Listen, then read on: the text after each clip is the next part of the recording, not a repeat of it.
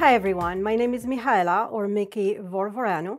I lead UX research and responsible AI education in Aether, Microsoft's research and advisory body on AI ethics and effects in engineering and research.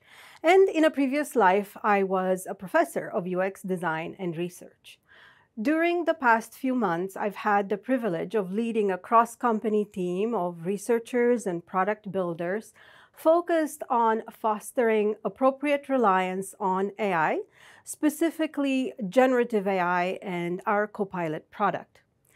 In this uh, working group, we think of fostering appropriate reliance on AI as striking a balance between people not over relying too much on AI and accepting its outputs when they are incorrect or incomplete, and not under relying and not using or trusting AI outputs even when they could be useful.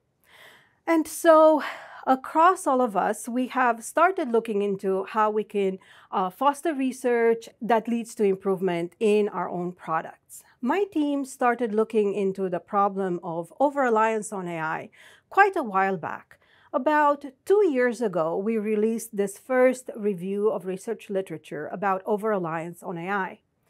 In that paper, we isolated antecedents, mechanisms, and consequences of over-reliance on AI and the series of mitigations that showed promise in the research literature. However, as we know, many such mitigations can backfire, actually increasing over-reliance rather than mitigating it. More recently, we released a second synthesis of research literature this one focused specifically on generative AI.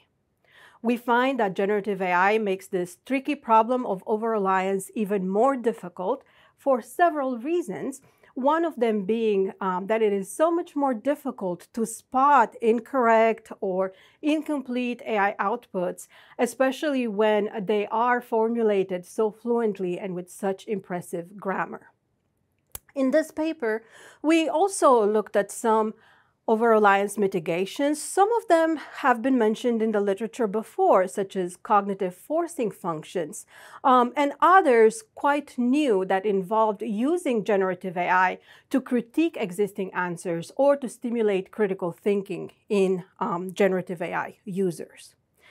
As Eric Horvitz and Abby Sellen point out in the recent opinion piece, using generative AI places a high cognitive burden on regular people during everyday life.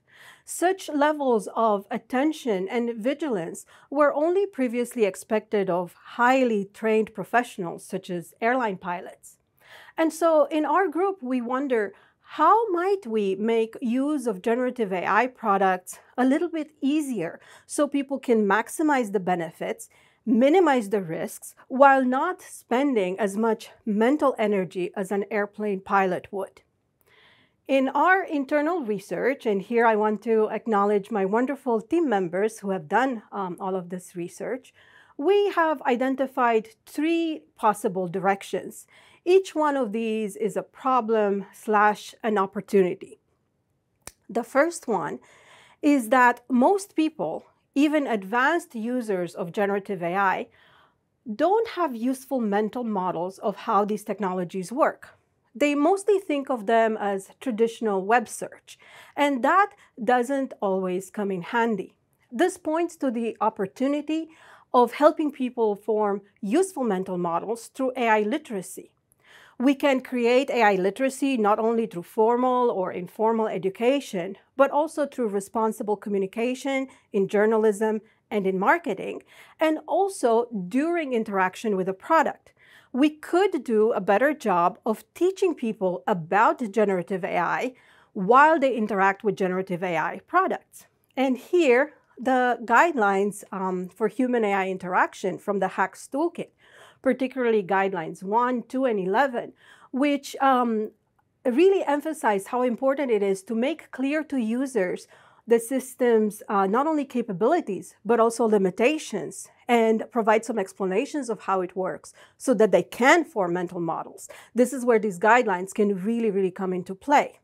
I also invite you to keep a, an eye out on the HAX Toolkit because we have been adding new examples um, and content related to uh, appropriate reliance specifically. And so this is one idea of how we could uh, intervene at the user interaction layer to actually foster uh, AI literacy and um, more useful mental models. The second direction um, and the second research findings is that overall, people are not inclined to verify AI outputs. Um, also, if you think about one of the most popular strategies that's used in most products to date is what I like to call the warning sticker strategy, where we might show something like AI generated content might be incorrect. And this is partially useful. Um, people seem to have learned that. However, this type of notice doesn't mention that AI generated content might also be incomplete. And so people might miss out altogether on the fact that important or useful information is not in the answer in the first place. And so that also raises the opportunity of how might we get people's attention, sort of arouse that attention and vigilance just a little bit so they know when it is time to check answers versus not um, in more important or high risk situations. In the research that we highlight on the working team's uh, webpage, we show some papers that talk about communicating uncertainty uh, verbally via, via text output or via highlights that might help users spot when it might be time to increase their alertness level and verify outputs more carefully.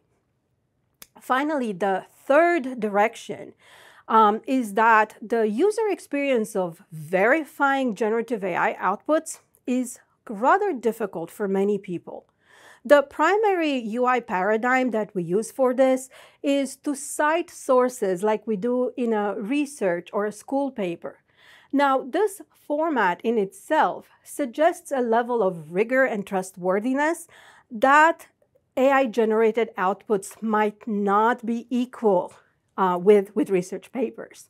And so because of this signal, people might not be inclined to verify because what's really more trustworthy than a research or a school paper?